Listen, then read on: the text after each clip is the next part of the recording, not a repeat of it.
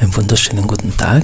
Wir haben letztes Mal Übungen zu den Rechten äh, in der, unter Linux Unix eben gemacht und da sind zwei Dinge etwas offen geblieben. Zwei Dinge, die wir in der Schule, in unserem Labor äh, machen können, geil, aber die wir eben nicht mit daheim äh, mitgebracht haben. Und da, äh, ja, da will ich euch jetzt da äh, was zeigen und zwar das eine war welche Rechte hat die Datei Strukturizer, geil, Strukturizer hier unter USR lokal bin ist nichts anderes als ein äh, kleines minimales Skript, also so eine Zeile, um äh, diesen Strukturizer, gell, also um unseren äh, ja, Struktogramm-Editor zu starten. Gell. Und da wollten wir die Rechte anschauen. Gell. Also ja, ich habe jetzt diesen Strukturizer auch nicht mit nach Hause gebracht, gell. aber äh, ich habe hier auch ein Verzeichnis USR lokal bin. Hier drinnen sind ein paar Sachen, geil, also da dieses Simple Note, das ich mal installiert habe, oder auch Turing Arena, geil, also das ist ein, ja, so wunderbare Umgebung. Äh, und ähm, dann sind hier zwei Skripts, zwei Skripts, geil, die äh, ich mal gemacht habe und hier abgelegt habe, geil. Naja, hier sehen wir die Rechte, gell? Und da müsst ihr natürlich überlegen, was bedeutet das, gell? Und der Strukturreiser in der Schule, der wird so ähnlich ausschauen, kann ich euch sagen, gell? Mhm. Wahrscheinlich hat er die gleichen Rechte gesetzt, gell? Ja, also, das da ist also das, was ich euch zu dieser Aufgabe mit dem Skript geben kann, gell? Und, äh, und dann wollen wir etwas machen, und zwar äh, dieses Verzeichnis Public HTML im Home-Verzeichnis? Das ist jetzt ein ganz besonderes Verzeichnis und zwar ähm, ist das ein Verzeichnis, das man dem Webserver zur Verfügung stellt, gell? Jetzt haben wir zu Hause äh, ja, wir können einen Webserver haben, gell, aber meistens haben wir zu Hause keine Webserver, gell.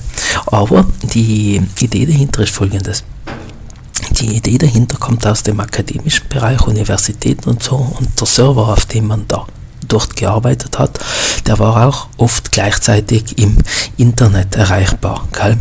Und, äh, und hat darauf auch einen Webserver laufen gehabt. Und jetzt hat man etwas gemacht. Man hat den Benutzern auf diesem Server die Möglichkeit gegeben, in ihrem Home-Verzeichnis ein Verzeichnis als Webverzeichnis äh, zur Verfügung zu stellen. Gell? Und diese Idee, die muss man mal unterstützen, dass ein Webserver in die Verzeichnisse der Benutzer geht, um dort ein Verzeichnis als Webverzeichnis interpretiert. Gell? Und ja, wie wird das gemacht? Es wird beim Apache als, äh, ja, Apache, das ist ein weit verbreiteter Webserver, gell? Nicht der einzige, den es gibt, gell, aber seit äh, vielen Jahrzehnten die Nummer 1 der Webserver, gell. Und äh, ja, wenn man da mal so hinuntergeht, dann finden wir ein äh, ja, ein Verzeichnis, gell? und dort gibt es den Punkt Module. Und wenn wir hier hinuntergehen, oh, da gibt es viele Module, da gibt es ganz vieles, was man hier eben dann hier so alles kennt. Gell? Und äh, ja, wenn man eben so die Informationen über den Webserver dann mal anschaut irgendwo, gell? dann kann man das auch anschauen, gell? und wenn man da weiter schaut, dann finden wir gell, irgendwo unten bei U Jo, hier sind wir bei U, das Modul User dir. Und das ist dafür verantwortlich, dass man das machen kann. Dass man also ein Verzeichnis des Benutzers veröffentlichen kann gell? und zugänglich machen kann. Und das wollen wir jetzt auch tun. Und ähm, ich habe jetzt hier ein, eine virtuelle Maschine. Also mit der haben wir schon gespielt, das ist immer die gleiche. Gell? Äh, bla bla bla. So. Und äh, ja, sie mag mich doch, gell? Und äh, ja, also zuerst werden wir mal äh, ja, root, gell? bla bla bla, gell? So, jetzt sind wir root und root darf das, gell? Und wir müssen jetzt ein paar Schritte machen. Zuerst müssen wir den Webserver installieren, gell? Also der Webserver ist normalerweise nicht installiert und dafür müssen wir einmal ja ein apt Update durchführen, gell? Also die Package-Quellen synchronisieren, gell? Und äh, ja, was kommt denn da zurück? Nicht viel, gell? Jetzt könnt ihr da machen ein apt äh, list äh, upgrade? Das würde dann eine Weile dauern, deswegen machen wir es nicht. Ich mache jetzt ein install äh, 2. Mhm. Geil, also ein apt install apache 2. Das ist also der Webserver. Früher war es einfach Apache, geil, und dann ist mit der Version Apache 2 geworden. So. Okay, also lass mal laufen, gell? Und dann sagt er mir, ah, das hast du schon gemacht, du dummer Esel, gell? Also ja, also auf jeden Fall ist schon alles da. Und ähm, jetzt haben wir die Software, gell? Was müssen wir jetzt machen? Jetzt müssen wir dieses Modul äh, ja, aktivieren, gell? Und das ist dann, da gibt es das Apache 2 Enable ein Modul, geil, und dann müssen wir dieses User dir angeben, geil. So, und ja, ist enabled, super, geil. Und mh, mm, ja, und dann müssen wir den Apache nochmals äh, starten, geil, oder restarten, geil.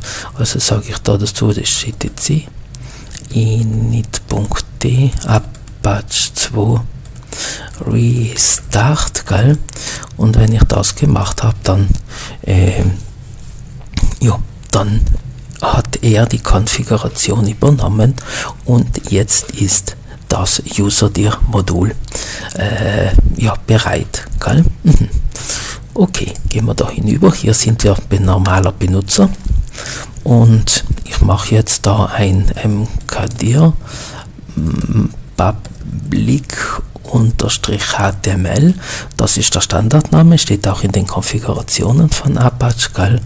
Und wenn ich hier hineingehe, hier kann ich jetzt eine Indexdatei zur Verfügung stellen. Gell? Okay, so, und da schreibe ich was hinein. Gell? Das ist ein bla bla bla Index, geil. Und äh, ja, sollte man dann ja schon HTML machen, geil. Also da ja, das ist HTML geil, das ist dann ein ein